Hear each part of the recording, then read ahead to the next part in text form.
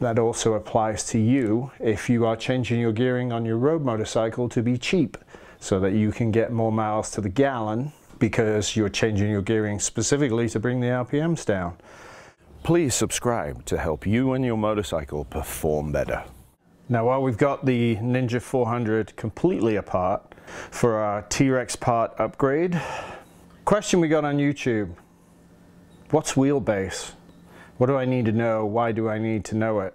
Well, wheelbase is essentially going from center of the axle to center of the axle. That's your wheelbase. So in this case, we measured it out at 54 centimeters. No. 54 inches. That's true. At 54 inches, but that's the, the wheelbase. So basically, we can go from center of the tire and contact patch to center of the tire and contact patch, or you can do axle to axle, it doesn't matter. The second piece of that is swing arm center down to center of your rear axle. That's another really important data point and that's 21 inches. So 54 and 21. 21 inches being 535 millimeters. This is technically more important than the entire wheelbase, but longer the bike, the more stable it is. The shorter the bike, the more nimble it is. So if you're curious and you've got a couple bikes in your stable, go measure, let's say, a light ADV bike like a DRZ 400, something like that, or a Honda CBR 500, and look at your wheelbase, but then also look at your swing arm length from center of the pivot to center of the axle and get a couple of measurements there. There are some very interesting facts about that. So let's move the data we just collated from the Ninja 400 and put it on the board. Excuse the diagram, I'm not an artist. This component with your swing arm length is in most modern bikes an increasingly longer measurement.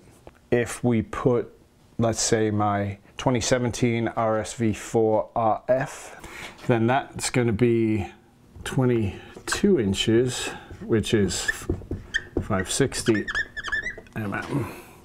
So it's longer by an appreciable amount, but it also has 180 horsepower versus 40. So there's a connection there between swing arm length and power and stability.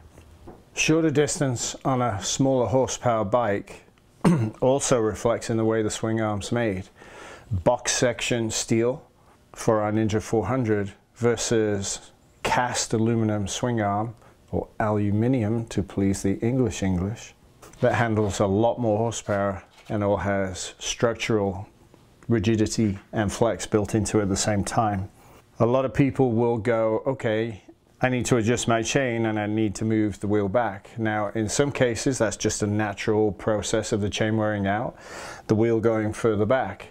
So the longer you make your wheelbase, the lazier the motorcycle becomes as the chassis gets longer and longer and longer.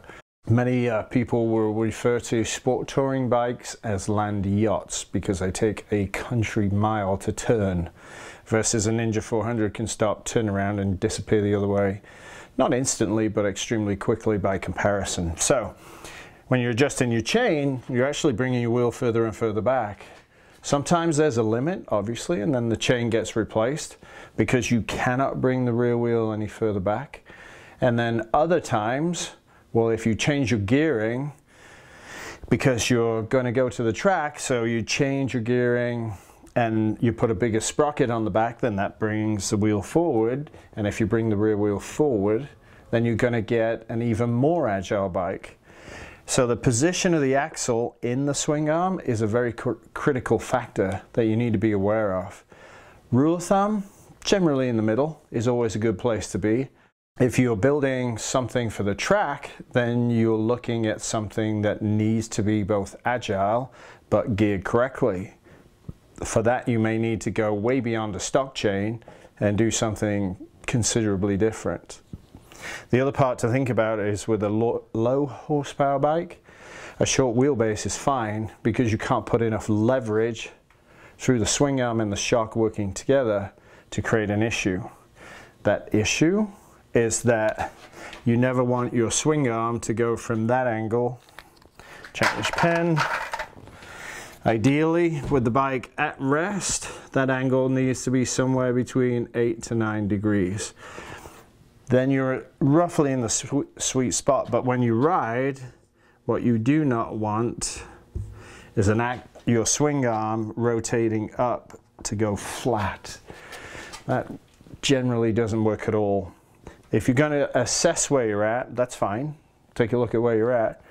Most people will do the bike at rest because it's easier. Others will do it with the suspension completely unloaded and the tires just, just touching the ground.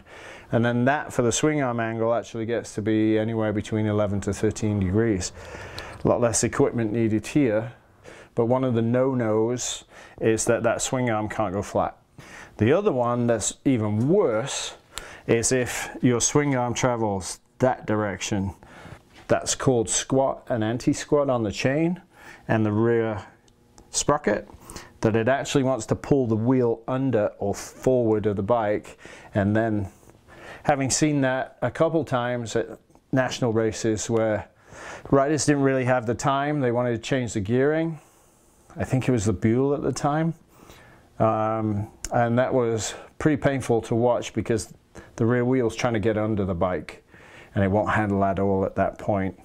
So some of the consequences are based on what's your swing arm angle? Is it too great or is it too flat? And then of course your total wheelbase length. Going out to a 1000cc bike, well, it's not unusual to see 22 and a half, maybe even 23 inches to see 580, 585 with the wheel all the way back. What that does is help with wheelie. So we were changing the chain angle and chain pull for squat and anti-squat to make the thousand sit. And generally, a lot of riders will take a thousand cc and pull the rear wheel into the final third to help fight wheeling. Very common behavioral trait based on data seen. And if you look at a lot of the race series, you'll find even though those swing arms are custom made, the rear wheel isn't all the way forward. It's mostly all the way back. So the handling issues you can get, obviously, if you've got a short wheelbase with a ton of horsepower, you can spend all day at 11 o'clock. Great if you want to show off, but miserable if you want to ride. Because every time you put touch the power, it's going to lift the front wheel. Bear in mind what you have. Take a look at what your wheelbase is. What is your actual swing arm measurement?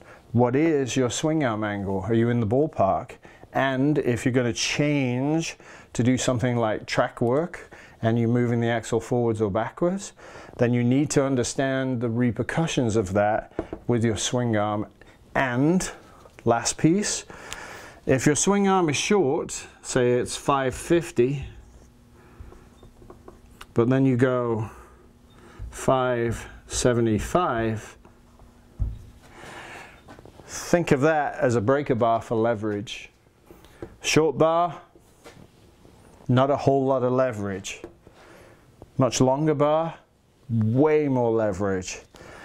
So if you do choose to go much longer in the chassis, that's going to make it really stable, hard to turn. But the other part is here with that much distance, there's a lot more leverage on the shock. So you may have to go much stronger on spring initially and maybe even valving because you've got more leverage. If you're shortening up the wheelbase for a tight technical track for more agility, maybe you have to go for a softer spring. And in going for a softer spring, then that reflects the amount of leverage you've got. So bear in mind, fast, really fast tracks, you're going to go longer for more stability and work harder turning. Tight technical tracks, you'll go shorter on your swing arm pivot to axle for more agility, but you'll have to drop the spring rate down. Get a tape measure out, get some data points on your bike, see what you've got. Doesn't hurt to have some knowledge and then apply that knowledge, especially if you're going to do gearing changes, because you're going to the track. That also applies to you if you are changing your gearing on your road motorcycle to be cheap so that you can get more miles to the gallon because you're changing your gearing specifically to bring the RPMs down. When you do that, did you change the chain or did you change the wheelbase? And generally, if you're going for RPMs being lower, the front and the rear sprockets tend to be bigger on the front, smaller on the rear, and that shortens your wheelbase. So bear in mind, if you're making changes, have a cup of tea and a, a sandwich first and get a napkin out and doodle some notes and try and figure out what you're trying to achieve and how things are going to change for you and your motorcycle. Dave Moss can tune your suspension no matter where you are on the planet via his remote tuning service. Contact Dave on Facebook or by email dave at davemosstuning.com.